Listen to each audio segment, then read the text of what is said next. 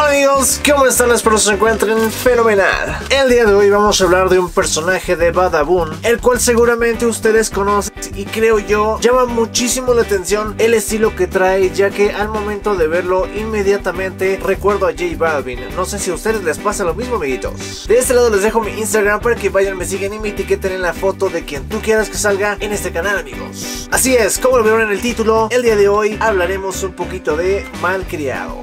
Empecemos.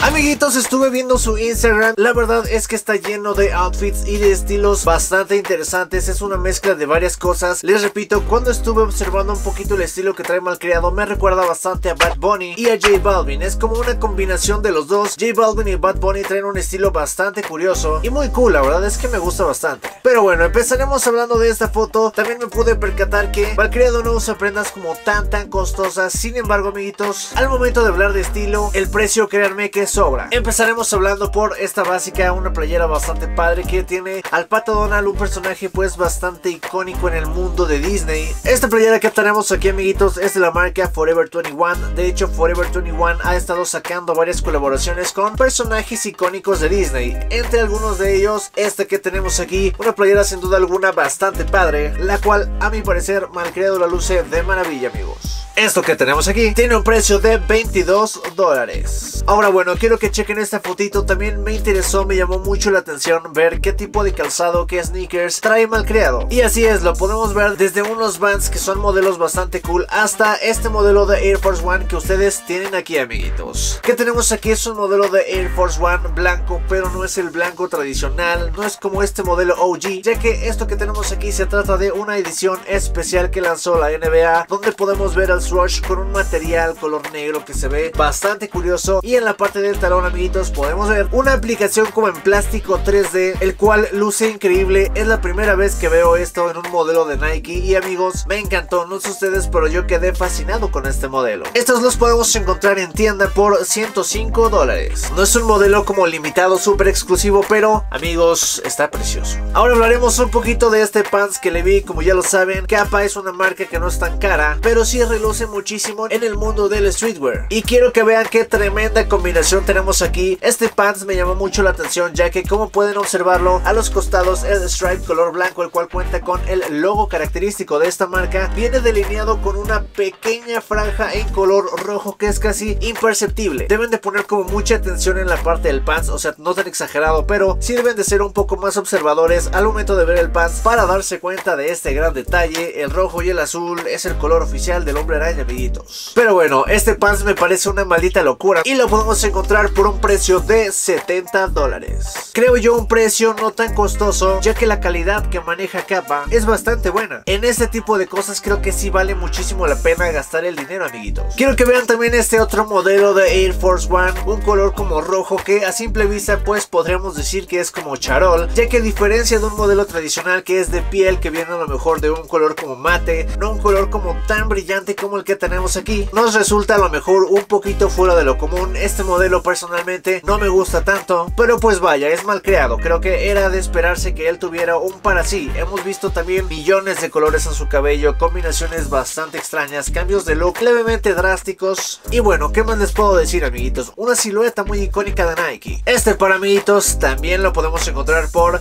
105 dólares. Es el mismo costo de los que ya hablamos anteriormente. Así es, los de la NBA. Y para terminar, una playera pues bastante básica diría yo de la marca Adidas. Las playeras de la marca Adidas, amiguitos, se sienten deliciosas. Es algodón de primera. Es algodón que te va a durar pues casi casi toda la vida. Además, esto que tenemos aquí es el logo famosísimo de Adidas, el trifolio, que ya todos conocemos, todos estamos familiarizados con él. Pero pues bueno, me gustó y dije, vamos a sacar a relucir un poquito esta perder el video, esta playera la podemos encontrar en una tienda oficial de Adidas por 30 dólares.